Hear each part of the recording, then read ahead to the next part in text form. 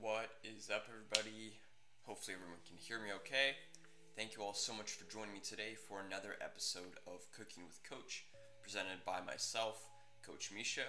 Today, what we're going to be making is something I'm actually really excited about. It's a recipe I've been making for the past few days. Um, and what it is, it's a mini baked apple crumble. This recipe comes from Mecca Fitness. The people over there are really great. They have a lot of different resources to help you achieve your New Year's resolutions, whether that be fitness goals, nutrition goals, anything like that. So I linked them down right here if you want to check out their Instagram and contact their team for a consultation for a nutritional uh, meeting or anything like that. Awesome. So guys, the very first thing we want to do is we want to start preheating our oven. This recipe is going to take about 30 minutes to bake in the oven. So I'm going to put a um, pause screen on the stream whenever that time does come and we'll kind of reconvene and you guys can join back up um, whenever that's finished. But first thing we want to do, we want to put the oven to about 350, okay? Awesome. So oven is set to 350. From here, we're going to go ahead and gather all of our ingredients. What we're gonna need is, first off, an apple. I recommend a gala apple. If you have it, really any sort of apple will do perfectly fine. I'm gonna be making just a single serving, which is just gonna require half an apple, but if you have two ramekins, which you'll also need as a piece of equipment, I'm just gonna be using this little dish right here you're gonna need, or at least recommended, a full apple, alright? So I'm just using half. You're also gonna need some oats. Old fashioned are again preferred, but not that big a deal if you can't find those.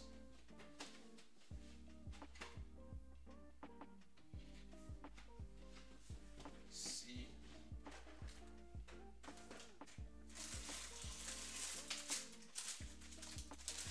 I'm gonna just go ahead and use this big bag of it right here.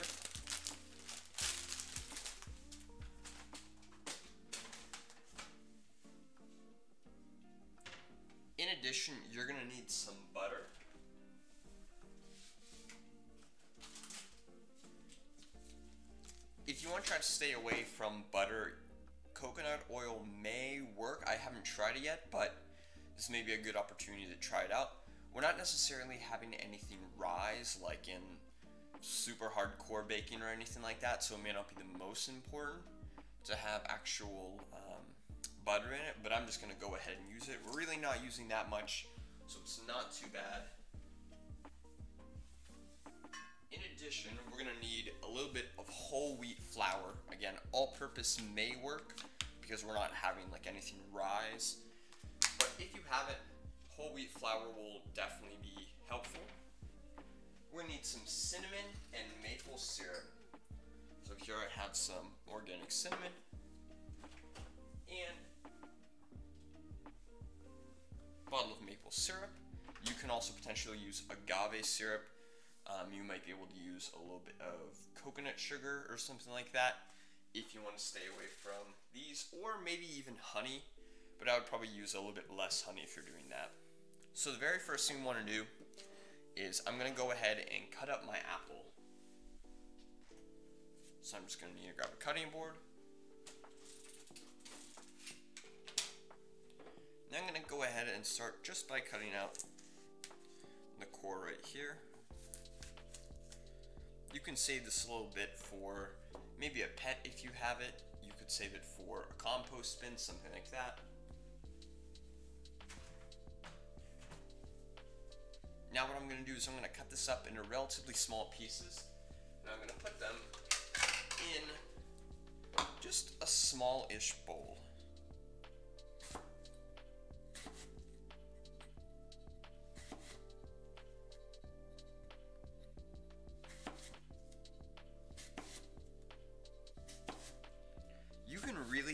Size of the apples be whatever you want. I want them to be a little bit smaller just so they cook a little bit more thoroughly in the oven, but you can have slightly larger pieces. You just may have to have them be in the oven for a little bit longer.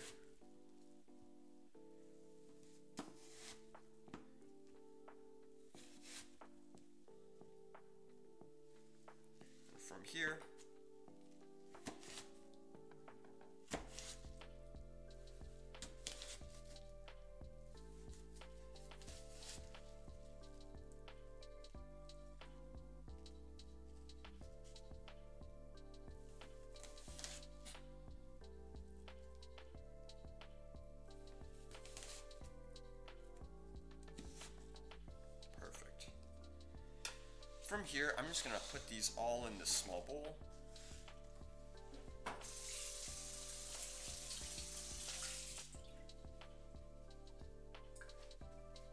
We're not gonna need this cutting board anymore, so we can set that off to the side. And from here, what we're gonna do is we're gonna take our cinnamon and we're just gonna sprinkle a good amount onto these apples. Not really a certain amount, maybe about half a teaspoon to a teaspoon of cinnamon. Then I'm just going to mix these all up. Try to get all of the apples covered with cinnamon.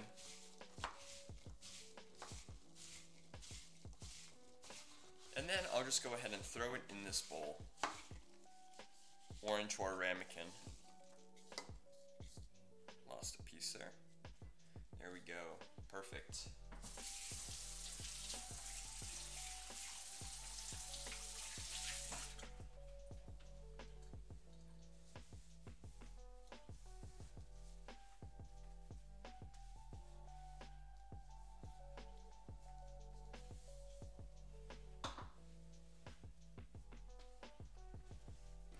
Next up, we want to prepare our kind of crumbling that we're going to throw on top. So, we're still going to need our knife, just to cut up the butter. I'm going to grab a microwave safe bowl, or I'm just going to grab this cup right here. I'm also actually going to grab a scale just to roughly measure out how much of all the ingredients we're going to need. So, for the butter, for half of a serving, which would just be basically a single serving, because uh, this recipe um, makes about two of them, we're going to need about, I'd say, a quarter teaspoon of butter, which is going to be, or a tablespoon, excuse me, which is to be about five-ish grams of. I like to have a little bit more crumble on top, so I'm going to go with about 7 grams, and that's 8, which is perfect. And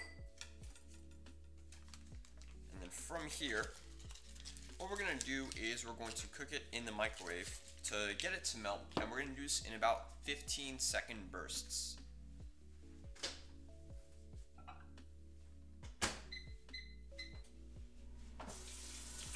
Also recommend grabbing some measuring spoons if you have them, just to help with, of course, the measuring of the other ingredients.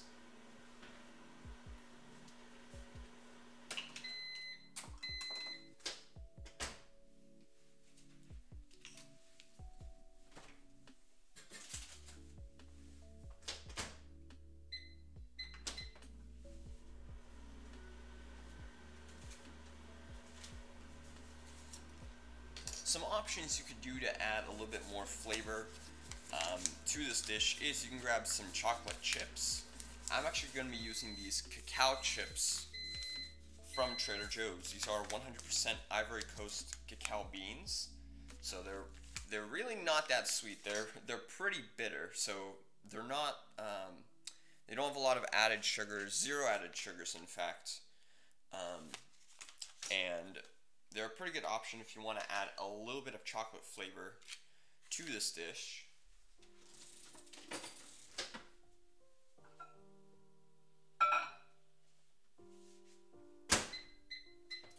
I'm also going to add Halo Top on top of the entire dish just to add ugh, a little bit almost like a, um, uh, what would you call it?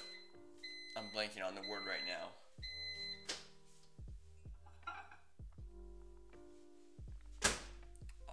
From here, I have my butter. I'm going to add maple syrup. I'm going to add about half a teaspoon of maple syrup, which will be about 10-ish milliliters. There we go. 7 to 10 milliliters. I can throw that back. Just gonna swirl that all around. After that, we're gonna need to add about half a teaspoon or half a teaspoon of whole wheat flour, about one to half teaspoon.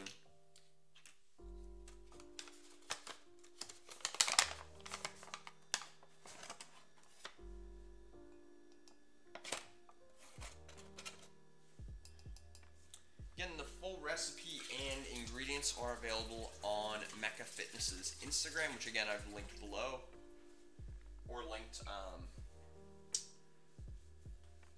on the on the screen there. You can see the link in a moment whenever I switch back to the front view. After that, we're gonna need to add our oats. I'm gonna add about two tablespoons, maybe a tablespoon and a half.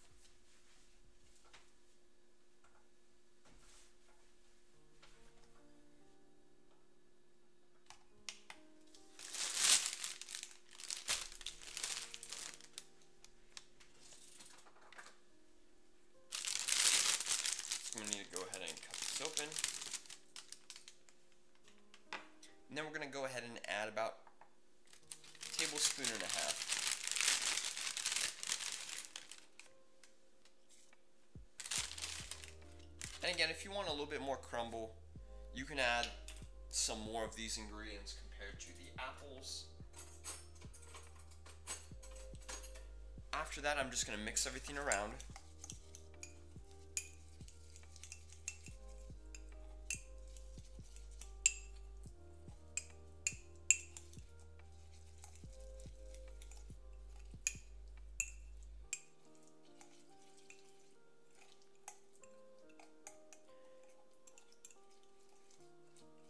Now, while this takes a second to cool down before I start sprinkling it on top, what I'm going to do is I'm going to take a few of these 100% cacao chips. And I'm going to sprinkle them on top of the apples right here.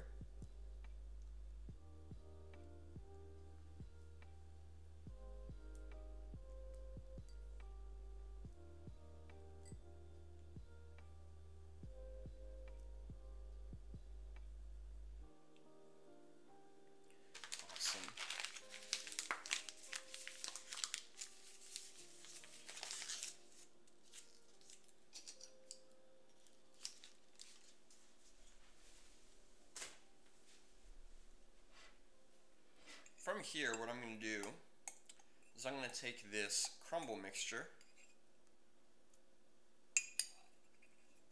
Now you're going to need to be a bit careful because it is a little hot. You want to evenly spread it on top of the entire dish as much as you can.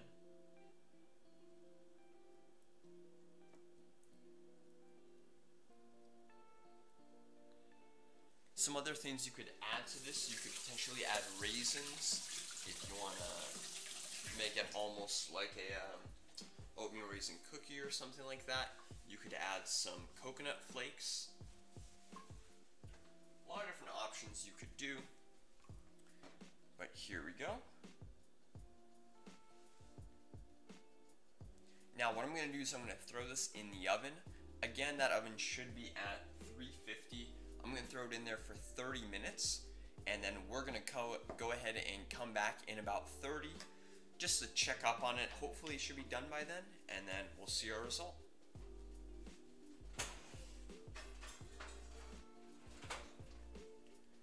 Awesome. So, what we're to go ahead and do is I'm to switch over and then I'll meet you guys back here in about 30 minutes. So that'll be about 12:45. See you guys soon.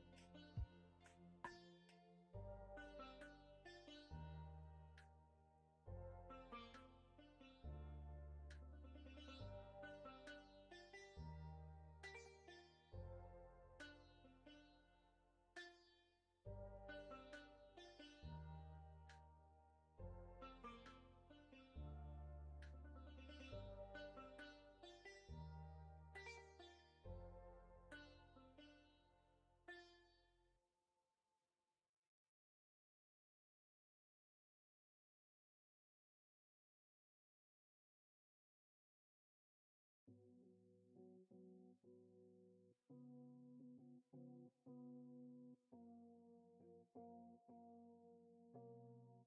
you.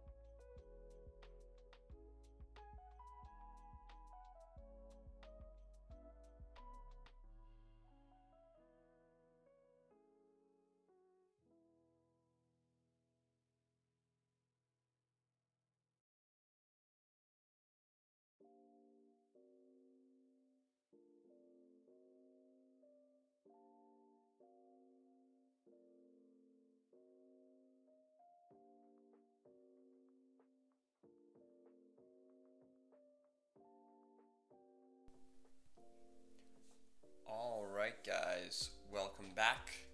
Um, sorry about that typo, I just realized now I accidentally put will return at 12.30 instead of 12.45. So a little bit off there, but that's alright. Let's go ahead and check on the crumble. So, I'm gonna grab some oven mitts just to again be safe.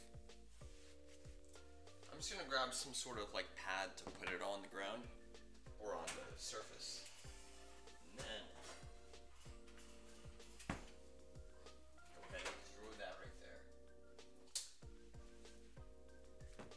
and that's looking awesome. Here's our crumble. You can see the chocolate melting all around there.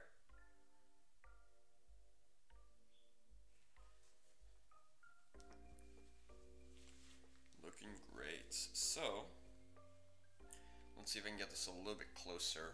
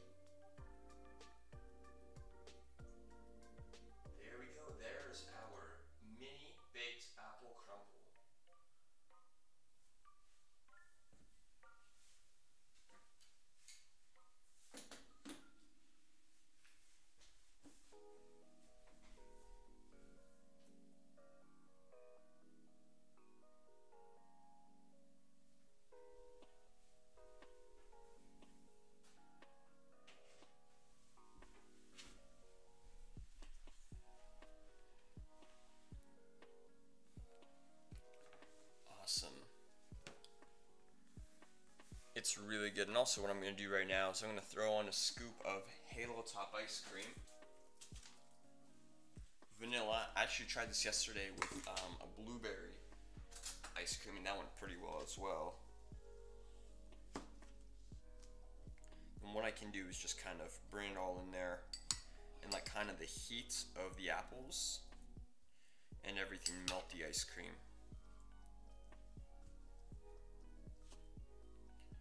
You can also potentially throw it in the oven for a few seconds, or maybe like a minute or so just to melt it a little bit. I'll just leave it right there. Awesome. Again, thank you guys so much for joining me today. This episode was brought to you by Mecca Fitness. Um, again, their link is right here if you want to check them out for some nutrition needs to potentially help uh, meet your New Year's resolutions or anything like that, be sure to check them out. Um, if you guys have any questions about this recipe or anything else, be sure to let me know. Our next stream is Wednesday at 7 p.m. It'll be a veggie packed pasta dish, so be sure to tune in for the recipe, hopefully posted today on my Instagram, and then for the recipe itself on Wednesday. Hope you guys had a really good New Year's. Hope you guys are staying safe, and have a nice day.